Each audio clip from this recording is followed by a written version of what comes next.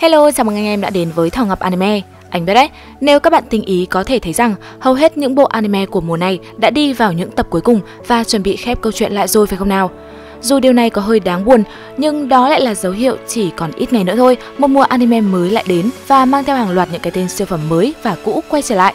Đáp lại nhu cầu xem những bộ anime mới của anh em fan Thảo Ngọc Anime, hôm nay hãy cùng mình đến với top 10 anime siêu phẩm đáng mong đợi nhất ra mắt vào tháng 4 năm 2021 nhé. Và sau khi xem xong top 10 anime bên dưới thì đừng quên để lại một like và bình luận xem bộ anime nào đã để lại cho bạn nhiều ấn tượng nhất cho mình và mọi người cùng biết nhé.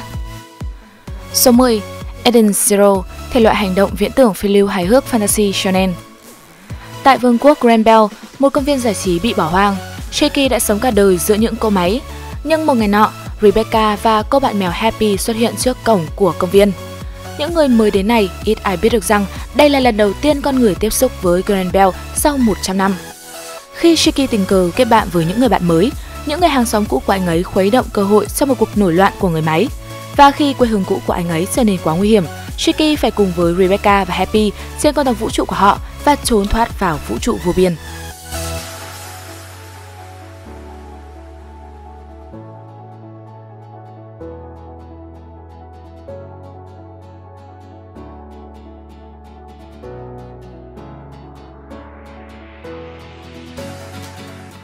Số 9. Centaurin Haken Shimasu, thể loại hành động hài hước fantasy. Luôn mang theo súng để đấu kiếm. Với sự thống trị thế giới gần như nằm trong tầm tay của họ, các lãnh đạo tối cao của tập đoàn Kisaragi, một nhóm tội phạm ngầm trở thành Megacorp độc ác, đã quyết định thử sức mình trong một cuộc chinh phục giữa các vì sao. Kết quả sục sắc nhanh chóng để cử ra đặc nhiệm trưởng của họ, đặc vụ chiến đấu Six trở thành người khám phá một hành tinh xa lạ.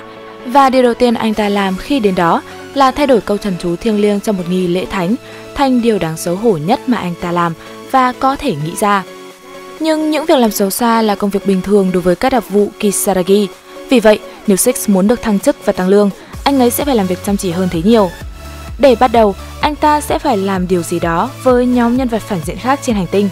Những người đang tự gọi mình là quân đội của chú quỷ hoặc bất cứ điều gì.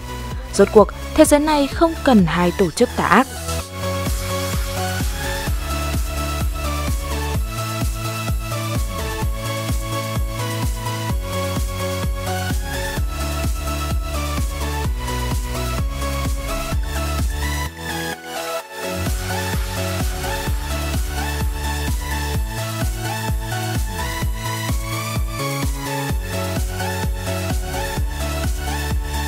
tám Fumetsu no Anatae, thể loại phiêu lưu siêu nhiên drama shonen.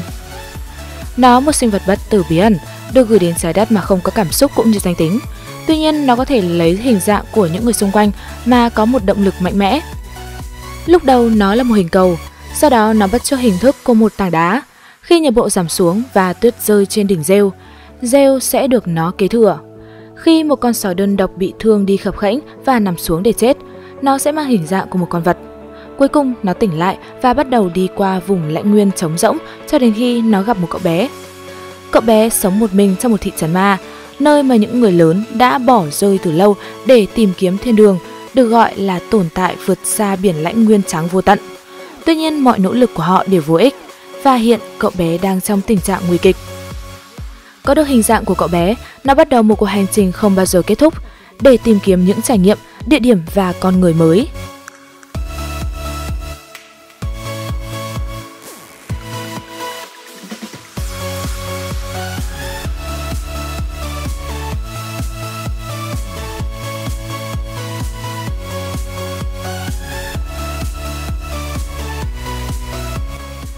Số 7. Slam 300, thể loại hài hước fantasy. Đột ngột chết vì làm việc quá sức, Nữ nhân viên làm công ăn lương Azusa Aizawa nhận thấy mình đang ở trước một thiên thần, người cho phép cô tái sinh vào một thế giới với tư cách là một phù thủy trường sinh bất lão, nơi mà cô dành cả ngày để giết lũ Slam nhằm kiếm tiền trong một kỳ nghỉ vĩnh cửu. Nhưng ngay cả điểm kinh nghiệm tối thiểu từ Slam sẽ cộng dồn sau hàng trăm năm và Azusa phát hiện ra rằng cô ấy đã vô tình đạt đến cấp độ tối đa. Lo sợ khả năng mạnh mẽ của mình sẽ thu hút công việc và cô ấy buộc phải quay trở lại với lối sống làm việc quá sức cô ấy quyết định che giấu sức mạnh của mình để duy trì lối sống yên bình. Bất chấp những nỗ lực của cô ấy, những câu chuyện về cấp độ tối đa phù thủy của cao nguyên lan rộng khắp vùng đất và một con rồng kiều hãnh có tên là Raika xuất hiện để kiểm tra sức mạnh của bản thân, cũng như phù thủy của cao nguyên trong lời đồn. Mặc dù Azusa đánh bại và kết bạn với Raika, vấn đề nảy sinh khi mà cả bạn và Thu đều tìm kiếm nữ phù thủy ảo ước sống một cuộc sống yên bình.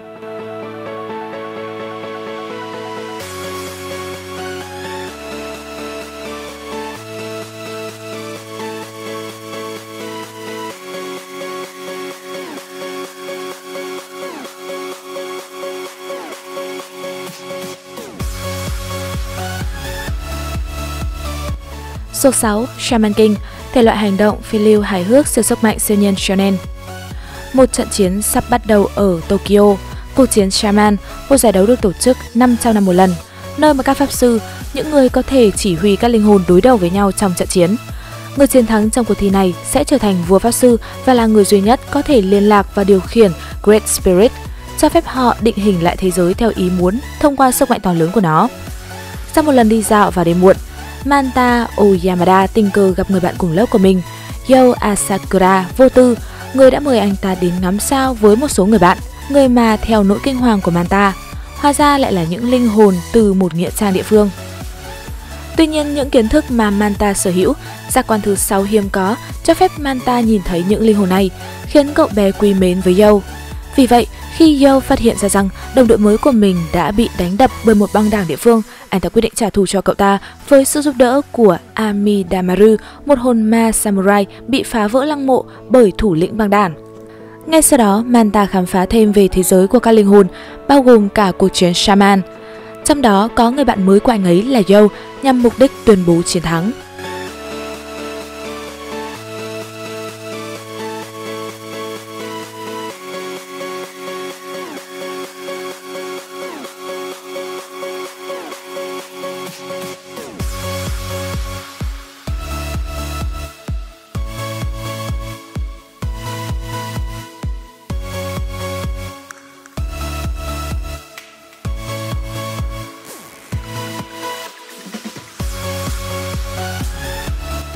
Số 5. Izanade Nagatoro-san, thể loại đời thường, hài hước, lãng mạn. Học sinh trung học Hayase Nagatoro thích dành thời gian rảnh để làm một việc, đó là bắt nạt senpai của cô ấy. Sau khi Nagatoro và những người bạn của cô tình cờ nhìn thấy những bức vẽ của một họa sĩ đầy tham vọng, họ cảm thấy thích thú khi mà bắt nạt senpai nhút nhát một cách không thường tiếc. Nagatoro quyết tâm tiếp tục trò chơi giàn ác của mình và đến thăm anh hàng ngày để cô có thể buộc Senpai làm bất cứ điều gì có lợi cho cô vào thời điểm đó. Đặc biệt nếu điều đó khiến anh ta không thoải mái. Hơi bị kích thích và có phần sợ hãi Nagatoro, Senpai liên tục bị cuốn vào những trò hề của cô gái khi sở thích, ngoại hình và thậm chí cả tính cách của anh đều bị lợi dụng để sống lại anh khi cô giải trí với anh. Khi thời gian trôi qua, Senpai nhận ra rằng anh ta không hề ghét sự hiện diện của Nagatoro, và hai người họ phát triển một tình bạn không hề dễ chịu khi mà một người kiên nhẫn chịu đựng những trò hề của người kia bày ra.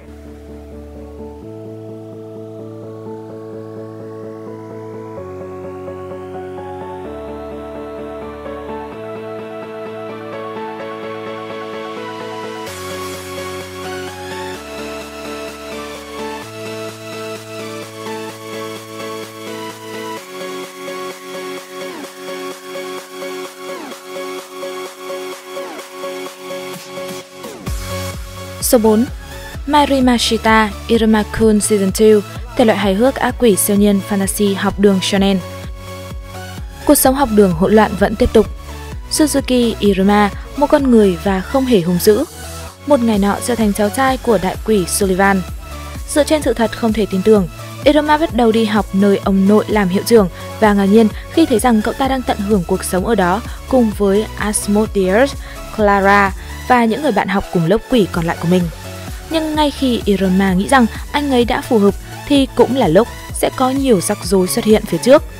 Một chiếc nhẫn bắt đầu nói chuyện và Irma giở trứng. Cuộc sống hỗn loạn với nhiều ma quỷ xung quanh của Irma ở trường vẫn tiếp tục.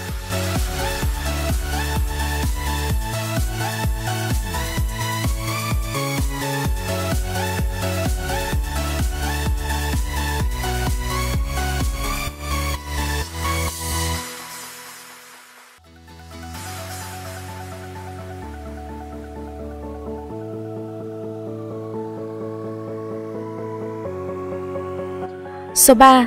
Tensura Niki Tensen Sitara Slam Dataken, thể loại đời thường hài hước fantasy shonen. Gag manga, lấy bối cảnh trong thế giới Isekai mega hit, khi đó tôi đã chuyển sinh thành Slam. Bạn đã hiểu rõ về cuộc sống hàng ngày của Rimuru và các nhân vật khác trong loạt phim spin-off vui nhộn này. Nhật ký thân yêu, tôi đã tái sinh thành một Slam. Ngay cả trong thế giới khác, cuộc sống không phải lúc nào cũng đơn giản. Có rất nhiều việc phải làm, từ việc cung cấp cho cộng đồng và rèn các vật dụng mà mọi người cần, cũng như nhiều trò chơi và các hoạt động vui nhộn xuyên suốt. Tham gia cùng với Rimuru và bạn bè khi mà họ quay trở lại và tận hưởng cuộc sống hàng ngày nhé.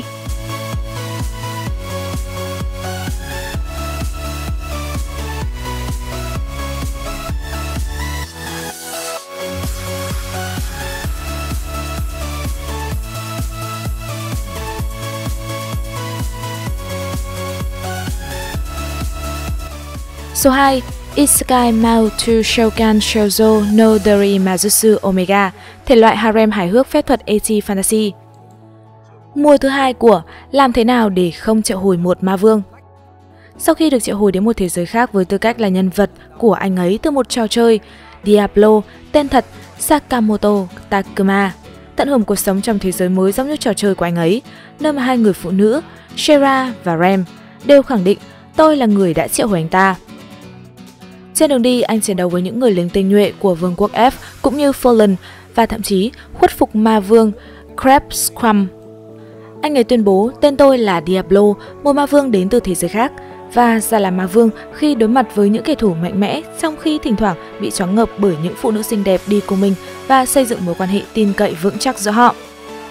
Cho đến một ngày, Diablo và những người khác đang đi qua khu rừng xung quanh hồ phía đông thì gặp một cô gái đơn độc trong bộ dạng tả tơi. Anh có phải là chúa không? Người phụ nữ đó là Lumachina, một linh mục tối cao của giáo hội đang bị truy đuổi bởi một paladin. Chúa quỷ, phà ke, không có kỹ năng xã hội nào lao vào đống hỗn lộn với sức mạnh tuyệt đối. Những câu chuyện đầy mộng mơ về một ma vương từ thế giới khác và những người phụ nữ đã triệu hồi anh ta bắt đầu một lần nữa.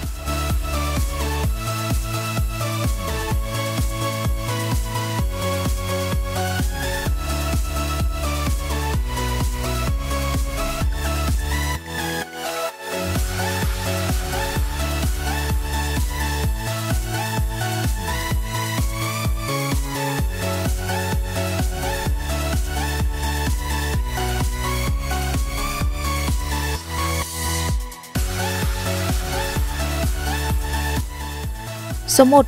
Boku no Hero Academia Season 5 Thể loại hành động hài hước siêu sức mạnh học đường shonen Sau khi thành công vượt qua kỳ thi giấy phép anh hùng tạm thời của mình, Izuku Deku Midoriya tìm kiếm một kỳ thực tập ngoại khóa với một cơ quan anh hùng chuyên nghiệp.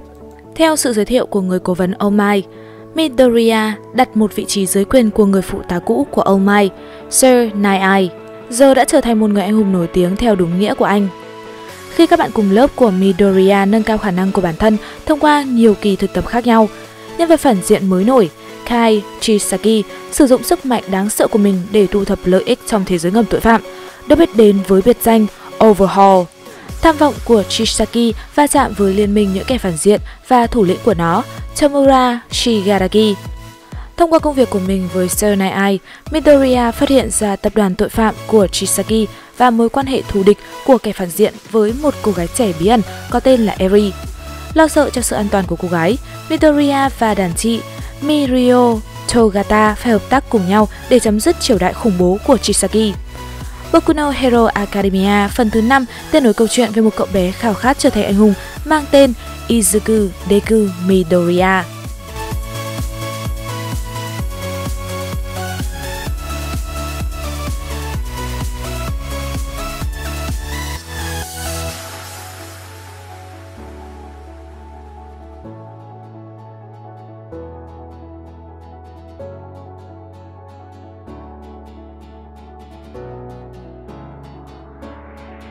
Trên đây là top 10 anime siêu phẩm đáng mong đợi nhất ra mắt vào tháng 4 năm 2021 mà mình muốn gửi đến cho các bạn.